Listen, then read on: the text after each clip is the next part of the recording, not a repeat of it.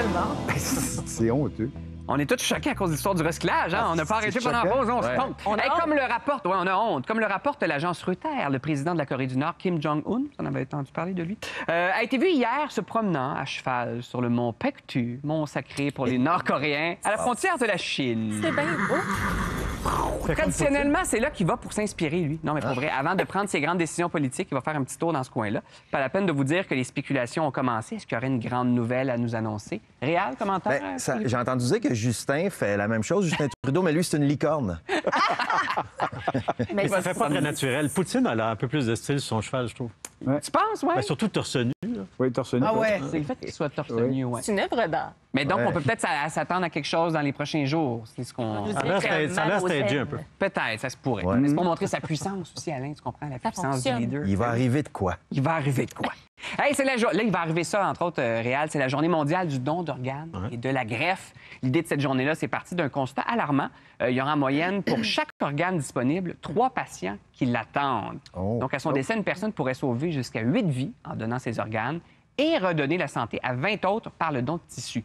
Mais il reste qu'au Québec et ailleurs, les donneurs d'organes sont rares.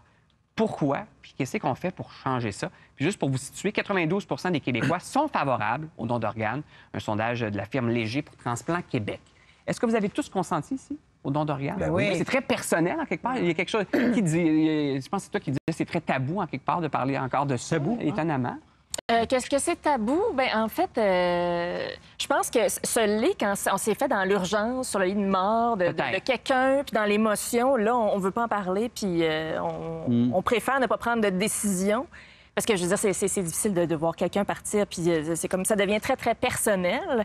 Mais, mais non, euh, je, je trouve pas que c'est... Au contraire, je trouve qu'on devrait, on devrait en parler, on devrait, on devrait en réfléchir l'encourager. Je me collectivement. trompe-tu, ça devrait être tout le monde? Tout le monde, on donne nos organes. Et si on veut pas, là, on signifie qu'on veut Exactement, pas. je suis d'accord avec toi. Comme ça, Moi- Si c'est je- bien fait, si c'est bien fait. Il y a eu des... C'était au Brésil où il avait fait ça, je pense, en 97. Mais ça avait été comme très imposé. hein. C'est un sujet quand même assez sensible, assez... qui doit être discuté. Ça avait été- et, et ça a eu l'effet inverse. Hein, ça a diminué le nombre dons d'organes. Et donc, ils ont aboli ça. C'est un peu comme l'aide médicale à mourir, je trouve, comme sujet. C'est un sujet qui, s'il y, a des- s'il y avait un changement de cet ordre-là, ça devrait être une grande discussion, ça devrait Ouais. être consensuel, ça devrait être très partagé. Parce que c'est vrai que c'est des situations très sensibles. Une personne est habituellement en mort cérébrale suite à un accident. Et donc, il y, a, il y a une discussion avec la famille. Est-ce que vous pensez qu'on on peut faire un don? Et c'est pas évident de discuter de ça. En tout cas, Pas- au- Québec, ça moi, je peux vous dire, mon, chose, mon hein. conjoint a été euh, greffé le, le 7 novembre Ah ouais? euh, Ouais. 2013, donc ça va faire six ans dans, dans quelques semaines. C'est chez nous un sujet extrêmement Hmm. euh, émotif et, et- et moi, je suis en faveur de l'obligation de, de- du don parce Oui. que je suis convaincue qu'une fois qu'on est mort, de toute façon, c'est surtout pour ceux qui restent. Que, que- que l'enjeu est le plus important, que la douleur est la plus vive et tout. Puis tu as raison. et ça se prend pas à la légère comme ça. C'est c'est sûr qu'il faut en parler. C'est pour ça que je suis marraine avec Thierry, euh, mon conjoint, depuis cinq ans de, euh, de la Fondation Chaîne de vie, où dans les, dans les écoles, on encourage beaucoup les jeunes de secondaire 4, Mm. secondaire 5 à en parler. Il y a tout un travail Mais il qui est fait rien de autour plus de merveilleux, tant qu'à moi, ça. de Et, et on a marché il y a deux semaines. Si tu décèdes et quelqu'un, tu donnes quelque Tu chose de toi que tu vie. vis à travers quelqu'un d'autre, il n'y a rien de plus beau. Ça. inté- c'est intéressant parce que sur le plan marketing, c'est exactement le même problème, puis euh, la, la même raison pour laquelle les gens sont réticents. Parce que c'est pas sexy comme sujet? Non seulement c'est pas sexy, mais on, on a une espèce de barrière. En fait, ça ressemble beaucoup au problème de la vente d'assurance vie. Parce que Oui. quand on y pense, l'assurance vie, c'est pas pour, pas pour toi que tu l'as Ou fait. faire ton testament. Ou faire ton testament. Exactement. Mais-. Les gens ont un blocage, ne veulent pas passer de l'autre côté du miroir, ne veulent pas, aiment pas se projeter comme étant morts, évidemment. C'est sûr que c'est pas agréable. c'est pas agréable. Et, et- et- et donc, il faut, exactement comme vous disiez, Dr. Valboncoeur, il faut à un moment donné faire sauter l'espèce de loquet, mais il faut que ça se fasse de manière très, très, très délicate. humaine. Euh, mais- mais, on c'est sait aussi que pour les, pour les gens, que quand il y a un don, ça aide les familles. Quand il y a un don, euh, une personne en mort cérébrale, ça aide à faire le deuil de la personne. Oui. Ça, c'est bien documenté. Donc, le fait de redonner vie à d'autres personnes, ça, ça, ça a un sens très fort. hein. Avec Thierry, on fait, on s'en fait va, beaucoup mais- de conférences euh, pour, pour euh, exprimer ce que ça change dans notre vie, ce que ça a changé dans notre vie. Nous, ça a changé la vie de mes enfants, ça a changé ma vie à moi. Thierry était, à partir du moment quand on a su qu'il avait le cancer du foie, il y a eu un foie greffé. Il est devenu tout de suite numéro 3 sur la liste de Transplant Québec. Ça, là, quand tu es proche du 1, c'est que si c'est pas bientôt, C'est urgent. tu vas mourir.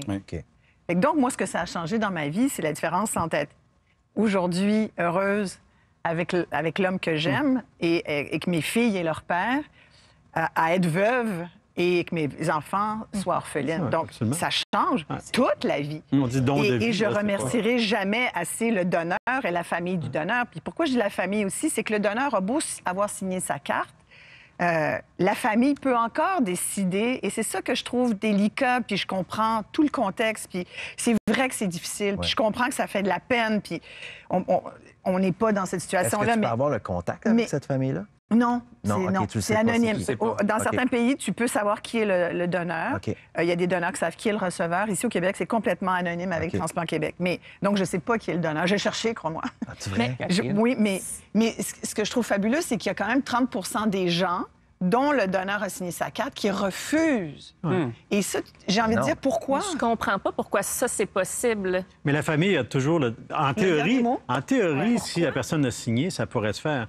Mais quand tu parles aux transplanteurs, aux gens qui font ça, ils vont jamais, ils vont jamais aller contre l'avis de la famille. De toute façon, ça serait assez intense hein, Ouais. d'aller contre une famille qui dirait non. Ouais. Euh, alors que ce qui- l'important, c'est de travailler avec la famille, de prendre Ouais. le temps, de l'informer, de discuter. Ouais. Et, et- parce qu'aller contre la volonté, imagine un peu les, conséquences Ouais. sur le deuil. Là, Vous ça avez serait pas le temps, Mais si un quelqu'un a signé sa carte, Ouais. tu sais, derrière ta carte d'assurance Ouais. maladie, vous Ouais. avez un petit collant, je vous encourage à aller signer ce collant-là. Au moins, ça indique que vous voulez donner Ouais. Et en vos parler. organes après votre mort. Parlez-en Chaîne de vie, Ouais. c'est ça Oui. que ça dit. Ça parlez-en, les jeunes sont beaucoup plus ouverts. Il y a peut-être une question de génération, on en tout à l'heure.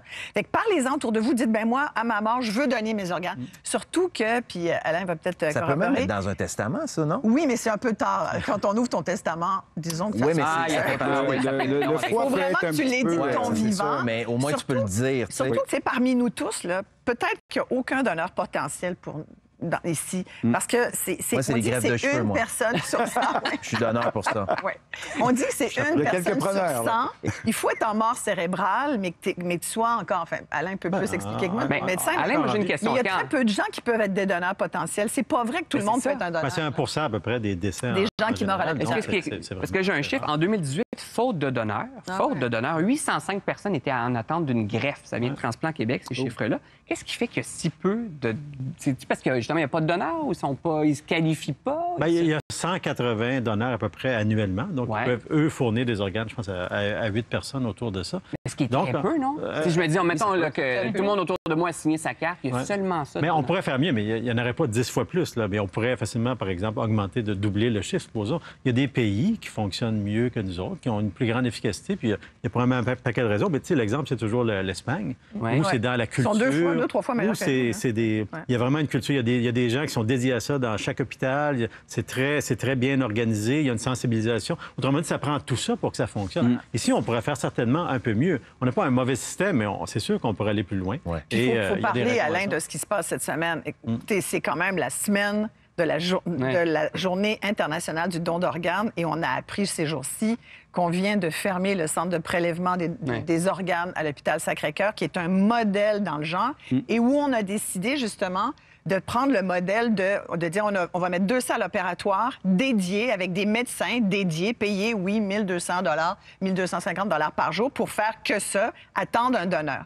Et là, il y a des médecins au CHUM et au CUSUM et à d'autres hôpitaux qui disent, ben voyons donc, payer des médecins à rien faire. Ce n'est pas à rien faire. C'est à être prêt en tout temps, 24 Oui. heures sur 24. C'est sûr que moi, j'aime ce, ce- ce modèle-là parce que je trouve qu'il il est très efficace, il a prouvé son efficacité. Et euh, il faudrait qu'il soit suivi. Je ne sais pas ce qu'elle en pense là-dedans, mais, mais je pense qu'il y a... là- Et, et d'ailleurs, à Sacré-Cœur, c'était 40% des organes du Québec qu'on prélevait là. Fait qu'il y a quelque chose là d'efficace. Après que les autres aient les mêmes... tu sais, Après que le ministère de la Santé donne l'argent qu'il faut. Mais on n'est on n'est pas les meilleurs au Québec. Au Canada, Ouais. hein, les Québécois, on n'est pas les meilleurs là-dessus. Fait qu'en faut- résumé, allez signer votre Oui, carte, c'est au ça. moins, ne Oui. serait-ce que Et, ça. et parlez-en. Et parlez-en, famille. Ça. Ça fait pas mourir personne. Voilà. Au retour maintenant que 70, c'est le nouveau 50 ou le nouveau 40. Le rôle des grands-parents a pris un coup de jeune. Être grand-mère ou grand-père en 2019, est-ce que c'est plus impliquant qu'avant? Ah, ah. On va en parler avec Jade. hein.